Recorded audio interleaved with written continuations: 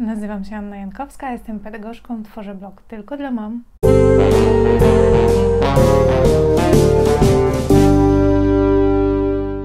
A dzisiaj z wielką radością, ogromną przyjemnością chcę Wam opowiedzieć o znakomitej serii książek napisanych przez Jonesbo. Tak, tego Jonesbo, który pisze kryminały dla dorosłych, on również pisze książki dla dzieci, stworzył całą serię. To się w Polsce nazywa Jonesbo dla dzieci i e, zostało wydane przez wydawnictwo Dolnośląskie. I w tej serii mamy już pięć książek, przy czym dwie są pod moim patronatem. Te dwie najnowsze są e, między innymi pod patronatem tylko dla mam, co mnie niezmiernie, ale to niezmiernie raduje bo jestem ogromną fanką twórczości tego autora, więc jak mogę objąć patronatem książki autora, którego bardzo lubię i bardzo cenię i mogę Wam polecać, to jestem przeszczęśliwa. I mimo tego, że pod patronatem mam te dwie książki, te dwa tytuły, to chcę Wam opowiedzieć o całej serii, bo wrzucałam już na Instagramie informacje o tym patronacie i wrzucałam też w grupie Aktywne Czytanie e, takie informacje i najczęściej dostaję pytanie po pierwsze, wow, zdziwienie właściwie, a nie pytanie, e, że Joneswo pisze też dla dzieci, nie wiedziałam. Ja też do niedawna nie wiedziałam, ale jak tylko się dowiedziałam, musiałam sprawdzić, czy to się fajnie czyta. To się czyta po prostu rewelacyjnie. E, a drugie pytanie to jest właśnie o serię, czyli czy można zacząć e, od jakiejś środkowej części, bo ta akurat nam wpadła w ręce i jak to idzie po kolei. Już Wam mówię, jak to idzie po kolei. Ustalmy sobie pewne fakty. E, pierwszy jest doktor Proktor i proszek pierdzioszek. Drugi jest, ta, druga jest ta niebieska książka, czyli doktor Proktor i wanna czasu. Trzecia ukazała ukazała się w Polsce historia, i myślę, że tak też Jonesbo pisał, e, doktor Proktor i niemal ostatnie święta. Czwarta w kolejności jest e, ta fioletowa, więc może ja sobie ustawię w kolejności, żeby Was e, tutaj nie mylić. E, doktor Proktor i koniec świata, być może.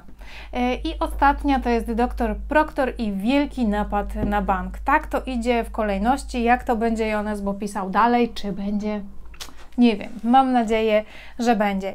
I drugie pytanie, czy można zacząć od obojętnie jakiej części, bo akurat tą macie pod ręką. E, szczerze mówiąc, my w domu z Karoliną zaczęłyśmy od tej części, bo ta nam wpadła w święta e, pierwsza w ręce. I spokojnie da się wszystko zrozumieć, każda postać jest opowiedziana, wytłumaczona. Zaraz Wam opowiem o wszystkich postaciach, które się tutaj przewijają, bo w każdej książce są te same. Jest trójka głównych bohaterów e, i w każdej książce są też takie nawiązania do tego, co było wcześniej, ale bez problemu da się przeżyć i fajnie przeczytać e, tą historię, obojętnie od której zaczniecie, bo każda książka ma też, wiecie, taką swoją wewnętrzną przygodę, którą e, się zajmujemy, więc spokojnie można e, tak jak wolicie. I już Wam mówię, co i jak i gdzie i po kolei. Zaczynamy od tego, że no właśnie, mamy tutaj trójkę bohaterów. Jest doktor Proktor, to jest taki zwariowany wynalazca, który jest bardzo wysoki, bardzo chudy, bardzo taki zamknięty w swoim świecie. Nosi coś na kształt okularów, chociaż wyglądają bardziej jak takie okularki do pływania. E, rysunki w tych książkach są też bardzo charakterystyczne, bym powiedziała. E, I już Wam pokazuję, jak wygląda dr Proktor. Mniej więcej tak, ma też brodę, łysinę. No jest takim mm, typowym, jeśli chodzi o wygląd, zwariowanym, szalonym szalonym naukowcem. Znaczy nie, on nie jest szalony. On jest, ja bym powiedziała, że on jest bardzo odważny. I mieszka przy ulicy Armatniej. I przy tej samej ulicy mieszka Lisa, nasza druga główna bohaterka. To jest dziewczynka, ja bym ją określiła jako taki typ grzecznej uczennicy. E, zawsze przygotowana, zawsze ma odrobione lekcje, e, zawsze się stara wszystkim pomóc, e, a jednocześnie ma to coś, ma tą żyłkę do poszukiwania przygód i najczęściej te przygody e, znajduje. Mm, tato e, Lisy, co też nie jest bez znaczenia, jest komendantem policji i bardzo stara się dbać o porządek w całym mieście, a nawet w całym państwie momentami. No i wychodzi mu to raz lepiej, raz gorzej. Można powiedzieć, że bardzo się stara, ale jest taki trochę nie do końca kumaty, jeśli chodzi o to, co się dzieje pod jego własnym dachem i myślę, że też w mm, jego, na jego komisariacie. No i trzecią postacią jest Bulek. Bulek tutaj w tej pierwszej części wprowadza się do, e, jako sąsiad Lisy na ulicę Armatnią i Bulek to jest taki mały chłopczyk, rudowłosy z rudą ognistą czupryną, e, taki bardzo, bardzo dzielny, bardzo odważny. To on jest właśnie tą postacią, która szuka przygód, która lubi, kiedy jest ta adrenalina na najwyższych obrotach i mimo swojej mikrej postaci można powiedzieć, że duchem jest przeogromny. Bulek ma dosyć trudną sytuację, ja bym powiedziała, rodzinną. Mieszka z siostrą i z mamą. E, siostra jest dla niego wredna, jest nastolatką, a mama jest. E, zajęta swoimi sprawami, ja bym powiedziała, i też uprzejmością nie grzeszy. I ogólnie w tej książce, w tych książkach wszystkich, w całej tej serii, to jest tak, że nie mamy tutaj takiego mm, miłego, różowego głaskania po głowie i mówienia o tym, jakie wartości w życiu są najważniejsze. Nie, my tutaj mamy zwariowany, absurdalny do granic możliwości e, humor naszego autora e, i naprawdę ponosi go mocno wyobraźnia. Same tytuły są e, bardzo fajne, a to, że mamy postać doktora Proktora, który może stworzyć wszystko, naprawdę wszystko, co tylko sobie e, wymarzy, sprawia, że otwierają się tutaj najróżniejsze drzwi, bo faktycznie dr Proktor ma niesamowite wynalazki, które pozwalają na najróżniejsze rzeczy. Na przykład proszek pierdzioszek, wynaleziony na samym początku, w pierwszej kolejności przez doktora, on się przewija przez kolejne części, bo to jest wynalazek, który daje najróżniejsze możliwości. I tutaj właśnie cała ta pierwsza część to jest historia o stworzeniu go i co za tym idzie? Mm, no, idą za tym najróżniejsze przygody, bo jak się ma, e, tak jak jest tutaj z tyłu określone, najmocniejszy na świecie proszek na prykanie, to można sobie wyobrazić, że dzięki niemu można na przykład wysoko polecieć, albo gdzieś tam przelecieć, albo się mocno odbić. I powiem Wam, że ten proszek pierdzioszek e, pojawia się też w części świątecznej o Mikołaju, gdzie Bulek z kolei musi trochę pomóc Mikołajowi i dostawać się do e, domów przez kominy. I tutaj proszek pierdzioszek e, również załatwia mnóstwo ważnych spraw. Więc tu mamy część pierwszą. W drugiej części z kolei tutaj mamy taką trochę historię miłosną, bo e, doktor Proctor ma ukochaną Juliet i żeby być z tą Juliet, wiecie co wymyślił? No właśnie, wannę czasu, czyli um, przemieszcza się w czasie i wyrusza w podróż, żeby zdobyć tą swoją Juliet, bo tam są różne takie perypetie, że oni nie są razem. No ale doktor Proctor wpada w kłopoty i potrzebuje pomocy Bulka i Lisy, więc oni też przemieszczają się w czasie yy, i też wykorzystują na przykład w różnych sytuacjach e, proszek pierdzioszek i dzieją się tutaj różne, różne najróżniejsze rzeczy związane z na przykład poznawaniem niektórych postaci historycznych, ale ogólnie poznawaniem również przeszłości, więc naprawdę bardzo fajnie, wartko ta akcja tutaj idzie. Pokazuję Wam, jak wygląda to w środku, bo tych rysunków jest niewiele, a czytania jest dosyć dużo, dlatego że to są książki przeznaczone moim zdaniem dla dzieci tak 9, plus, chociaż z tego co rozmawiałam na Instagramie i w grupie um, Aktywne Czytanie z rodzicami, jedna mama opowiadała mi, że czytała 5-6-latce tę historię i dziewczynka bardzo się śmiała i w ogóle bardzo jej się podobało i teraz wraca do tych opowieści i wierzę, że wraca, bo to jest coś takiego, co może się spodobać. Nie będę się rozwodzić nad trzecią częścią, dlatego że zrobiłam recenzję filmową, jak tylko e, przeczytałyśmy to w listopadzie czy grudniu, już e, nie pamiętam, więc jeśli Was interesuje, można sobie wklikać ten tytuł na blogu i zobaczycie, co tu się wydarzyło, a jest tu naprawdę mnóstwo akcji i to jest właśnie klimat bożonarodzeniowy. No i teraz dwa moje patronaty, najnowsze książki, które zostały wydane no w sumie w tym samym czasie. Jeśli mamy serię, no to kompletem będzie e, tych pięć książek. Pierwsza z nich to Doktor Proktor i Koniec Świata. Być może I już Wam mówię, co tym razem spotka naszych y, bohaterów. Y, tym razem okazuje się, że Oslo, bo oni mieszkają w Oslo, nie wiem czy o tym wspominałam, okazuje się, że wszyscy mieszkańcy miasta jakoś tak dziwnie się zachowują i Lisa z Bulkiem zauważają, że na przykład mieszkańcy zaczynają przekręcać wyrazy y, i zamiast na przykład poprawnie wymawiać są, to mówią som i tak jakby trochę, można powiedzieć, się uwsteczniali. Coś dziwnego się z nimi dzieje, ale na samym początku Lisa z Bulkiem nie mogą zrozumieć, o co tutaj chodzi. A chodzi o to, tak najogólniej rzecz mówiąc, nie odbierając Wam całej tej frajdy poznawania historii krok po kroku i dowiadywania się, co się wydarzy, osoby, które oglądają telewizję, okazuje się, że e, są zahipnotyzowane, można powiedzieć. A wiadomo, że mnóstwo ludzi ogląda telewizję, więc praktycznie cała Norwegia jest e, zahipnotyzowana pod wpływem pewnej postaci. I tutaj tą pewną postacią, która e, pojawia się, jest na przykład księżycowy kameleon. To jest niebezpieczna postać jej ludzie powinni się wystrzegać. A skąd w ogóle pomysł na księżycowego kameleona? To też jest fajne, bo to też się powtarza we wszystkich opowieściach. Bulak ma coś takiego. On ma taką wielką księgę i już Wam mówię, jaki jest tytuł tej księgi, bo to nie jest proste.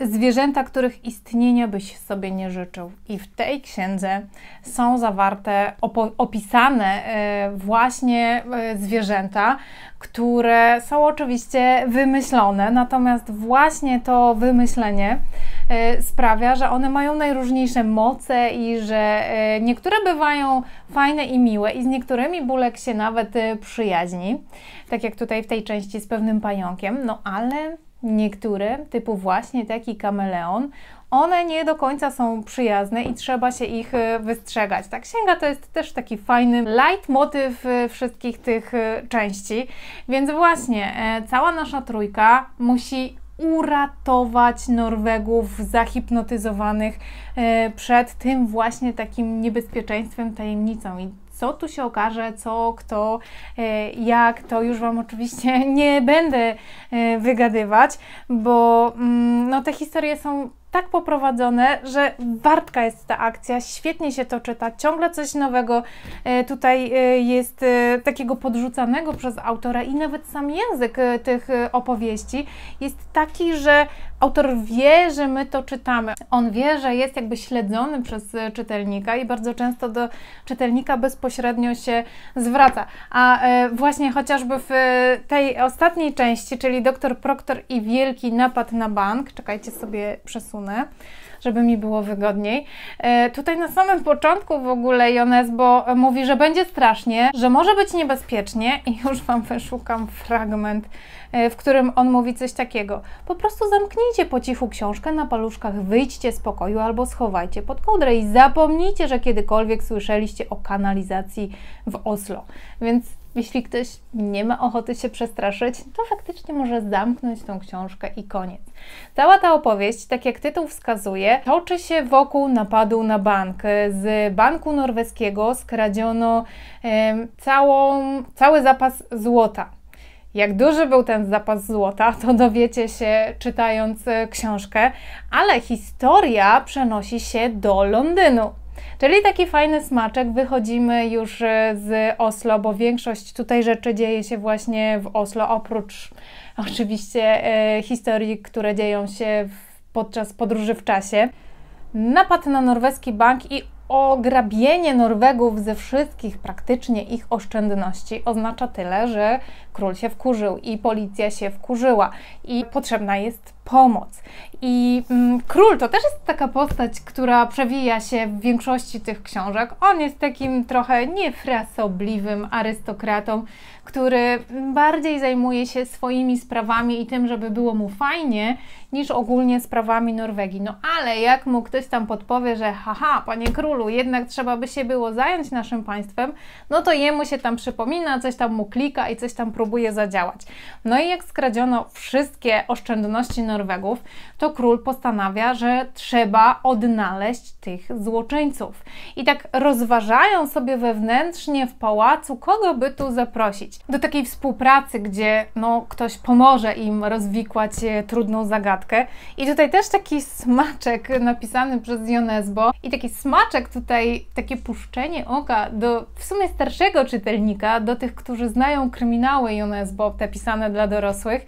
I tutaj król rozważa e, zaproszenie do współpracy, do rozwikłania tej zagadki znanego detektywa Harego o imieniu Harry. Tylko, że ten detektyw jest teraz zajęty, bo jest w Hongkongu i faktycznie to jest nawiązanie do, do tych jego e, książek dla dorosłych i bardzo mi się to podoba, e, no bo to jest takie świadome pisarstwo, takie, ja myślę, że on sobie już wychowuje czytelników na przyszłość, można tak e, powiedzieć, więc skoro nie ma tego Harego i wszyscy inni kandydaci odpadli, to król proponuje sprawdzoną drużynę, która już kiedyś uratowała Oslo i uratowała świat święta, oni się stąd znają, czyli właśnie trójkę naszych głównych bohaterów.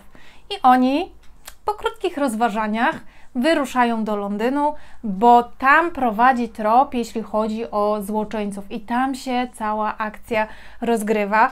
I to, co muszą zrobić, to jakby infiltrować całą tą bandę. Nie mogą po prostu wejść i powiedzieć: hej, oddajcie nasze norweskie złoto. Muszą rozpracować bandę, która jest bardzo, bardzo, bardzo niebezpieczna, i na czele tej bandy stoi pewna mama. Ale więcej Wam nie powiem, za to chcę Wam jeszcze powiedzieć, jaki tutaj jest super gadżet i jak będziecie sprawiać prezent y, swoim małym czytelnikom albo starszym czytelnikom y, i będziecie chcieli ich zaskoczyć, to nie mówcie, co jest w środku. Bo ja wcześniej czytałam tę książkę w postaci wirtualnej, no bo jak obejmuję coś patronatem, zanim to zostanie wydrukowane, muszę wiedzieć, o czym jest, muszę wiedzieć, czy chcę, chociaż no tutaj to akurat w ciemno też bym objęła patronatem.